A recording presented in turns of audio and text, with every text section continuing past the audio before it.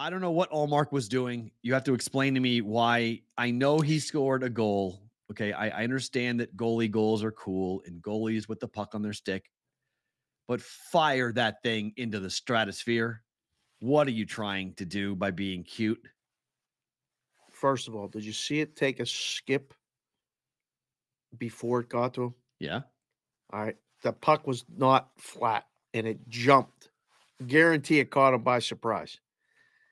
Second of all, at that point, you almost shouldn't touch it, but you shouldn't do what he did.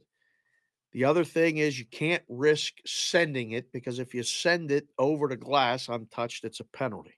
Uh huh. Rather that than what happened. Take a penalty for flipping the puck over the I'd net. rather take a penalty and let the Bruins with the number one penalty kill in the NHL, who I believe they've killed 49 of 50 power plays.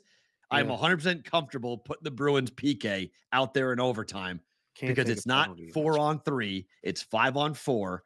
And I I would so much have rather have seen Ullmark take a penalty than do what he did and give Tkachuk that goal.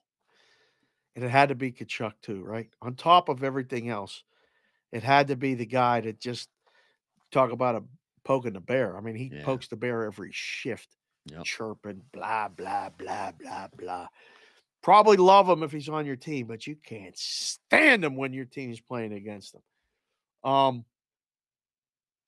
sometimes you just gotta like. I, I mean, I think The Rock said it best in wrestling, like know your role. Stay in the net. Like stay, in the, net. It's overtime. Just let it swing around the Yeah. boards. Leave it. Right?